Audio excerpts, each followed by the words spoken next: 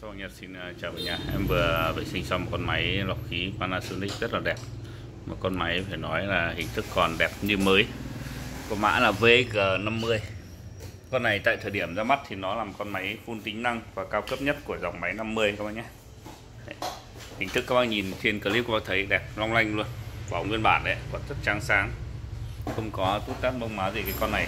Con này còn rất là đẹp cho nên là không phải làm gì Chỉ có lau chùi thôi là sạch rồi một con VG50 full tính năng. Mặt mũi còn rất là đẹp. Trắng sáng. VG50 công nghệ nanoi mã số 1 nhé. Các tính năng phím của nó phun luôn, cả cặp biến ánh sáng đầy đủ các bạn đấy. Hẹn giờ khóa trẻ em, bọn này đủ đầy đủ hết.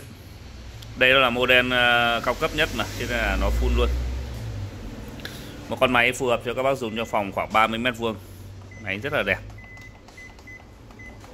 Eco Navi đầy đủ tất cả các chức năng hết các bác nhé. Đã đầu biến áp điện 220V rồi. Màng HEPA thay mới tinh. Chả còn gì các bác phải làm nữa cả. Một máy màng than con này rất là dày luôn. Màng HEPA thay mới. Một máy uh, xuất sắc. Tầm tiền thì cũng rất hợp lý. Phù hợp cho phòng khoảng 30 mét vuông đổ lại. Quá đẹp lọc khí bù ẩm khử mùi. Panasonic VG50 đặc miễn chê. Bên này khu vực bình nước bù ẩm. Mảng tờ vẫn còn rất ok các bạn nhé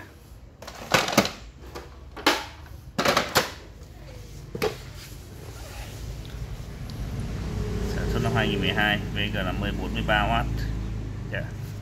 quá đẹp.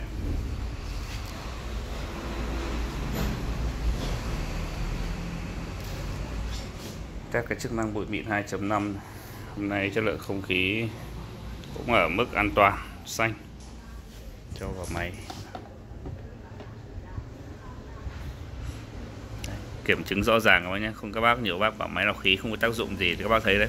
Cái chất lượng không khí khi mà ra ở đầu cửa gió là nó tốt như này cơ mà đúng không ạ? Thì một thời gian nó, nó sẽ lọc toàn bộ các cái chất bụi bẩn của phòng mình. Cho ra cái chất lượng không khí rất là tốt. Đấy các bác thấy chưa?